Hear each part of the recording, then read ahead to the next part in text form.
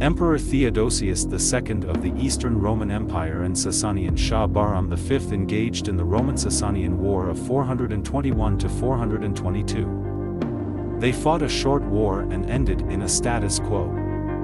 What was the Roman-Sassanid War of 421 to 422 AD? Before the war, the relations between Theodosius II and Bahram V's father, Yazdijerd I, were peaceful.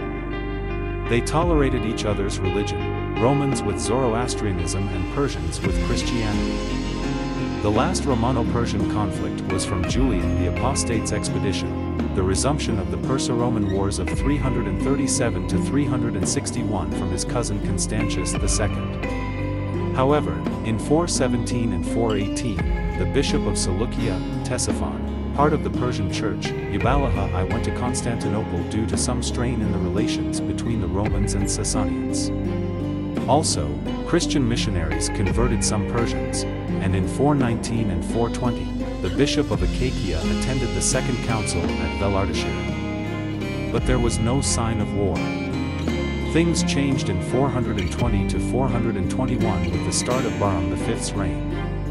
On May 5, 420, a law was the construction of defensive fortifications against potential Persian attacks, there was disorder in the east, and the Romans executed Maximinus.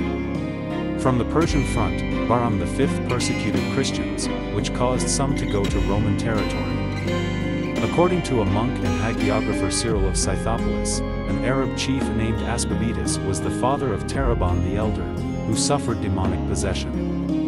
Aspabetus was a Persian subject but sided with the Eastern Roman Empire.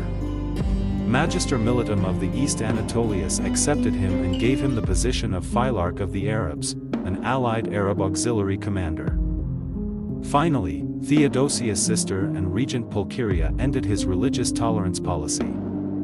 All this infuriated Bahram. Due to the persecutions in the Sasanian Empire, the Bishop of Patriarch of Constantinople Atticus allowed the Christian refugees to come and receive help. Also, Bahram V refused to hand over the Isaurian gold miners, possibly in Armenia, from the Eastern Roman Empire, which was a similar dispute in the Iberian War in 530 between Shah Kawad I and Emperor Justinian the Gorst. There is truth to this possibility the building of walls in Persia against the Huns. Under Yazdijerd I, the construction of the Gurgen and Derbend walls. In addition, he stole Roman goods from traders.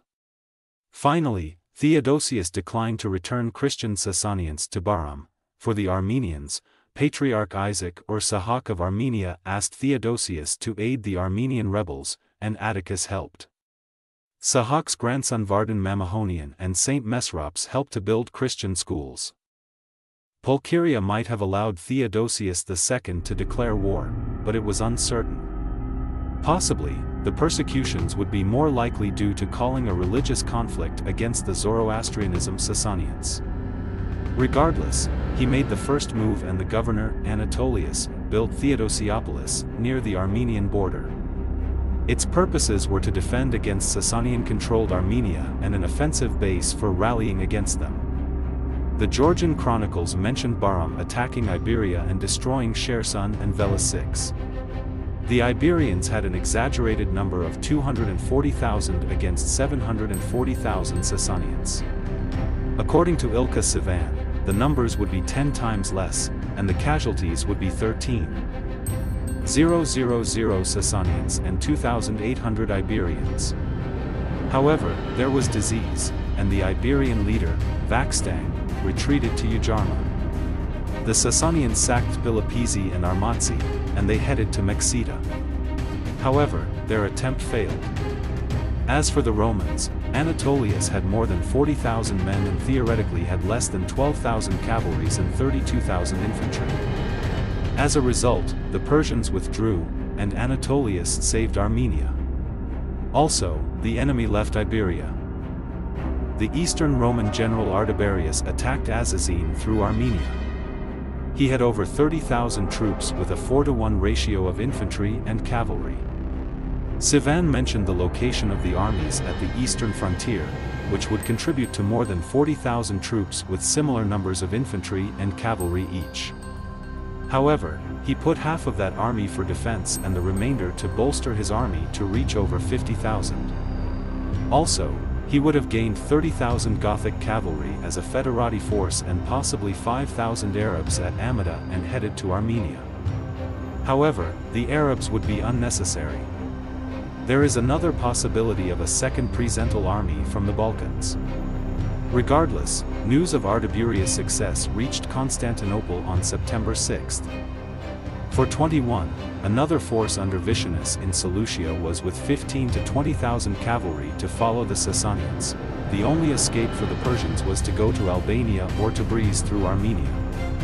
There was another direct route, Artaxata to Gojak, but Ardaburius and Anatolius' interventions prevented the usage.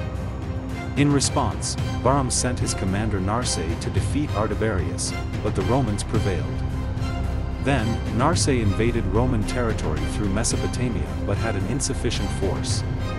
Ardaburius and Narseh met in Sasanian-controlled Nisibis. According to Theodoret of Cyrus, when Ardaburius gave up on Nisibis, Bahram attacked Theodosiopolis and besieged it for a month. The Persians used many siege towers. And Socrates Scholasticus exaggerated the lack of help for the besiegers under Bishop Eunomius. Before going into the result, we need to backtrack a little. Bahram sent his ally, the Lakhmids, under Almundhir I of Al-Hira to capture Antioch, but it was unsuccessful and suffered many casualties. Then, he led his war elephants, and the Romans incinerated their siege weaponry and retreated. Next, the allied army commander, Ardaburius the Goth killed Al-Mundhir and seven Persian generals, and Vitienus defeated the Arabs. As a result, the siege ended in early 422. Syvänne mentioned the duel between Ariobindus and a Persian general, and Ariobindus won. Socrates put it before the siege and Malalas after it. Overall, the campaign was quick due to the mobility of Ardaburius' army. Especially the cavalry, in the 6th century chronicle of Malalas, a patrician named Procopius became Magister Militum of the East, and he and Shah Bahram negotiated terms. Simultaneously, he sent Persian immortals under General Artaxanes, but Ariobindus defeated them. After the negotiations, Procopius became a consul. In Socrates Scholasticus Ecclesia Historia, Theodosius II sent Helion to be the negotiator, and he was the master of offices, which did diplomacy. He sent Maximus, an assessor of Ardaburius, as a peace ambassador. There was a siege of Theodosiopolis, which was either in Osroene or Armenia. Two Persian columns surrounded part of it but did not change the war. The war ended in 422.